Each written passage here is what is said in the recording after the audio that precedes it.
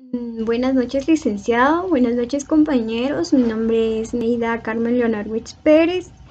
Em, ahora bien, a lo que concierne al tomador de decisiones, pues quien tomará las decisiones en el caso será el docente, ¿verdad? Quien tendrá como función, pues, evaluar el problema que posee el grado de tercero primaria y evaluar a cada uno de sus estudiantes para detectar las actitudes que ellos manifiestan para que tomen em, decisiones, ¿verdad? Que afecten a ellos mismos y sobre todo que afecten a sus demás compañeros.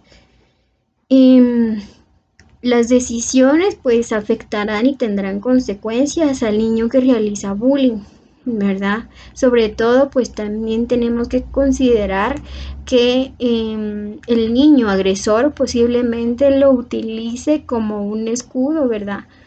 Para protegerse a él mismo.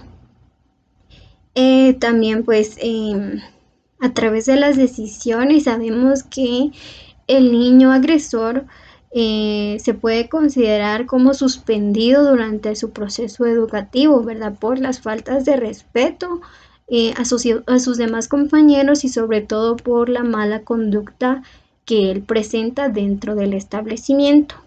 Por lo tanto, eh, al tomar decisiones, ¿verdad? Se deberá de considerar decisiones que no sean tan drásticas, ¿verdad? Porque también tenemos que considerar eh, la integridad del niño agresor y sobre todo eh, tomar decisiones de acuerdo a la edad del niño que realiza bullying, ¿verdad? Muchas gracias.